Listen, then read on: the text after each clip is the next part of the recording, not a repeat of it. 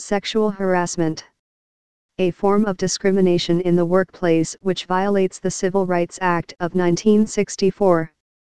Sexual harassment takes two forms, quid pro quo, where the employee must submit to sexual advances in exchange for job benefits or be penalized for refusing, or a hostile environment, where the atmosphere of the workplace is offensive and affects the employee's well-being. Offensive sexual conduct may include unwelcome advances, comments, touching, questions about marital status and sex practices, etc. Both men and women may be aggressors or victims. Slee and Slee, healthcare terms, 2D ed.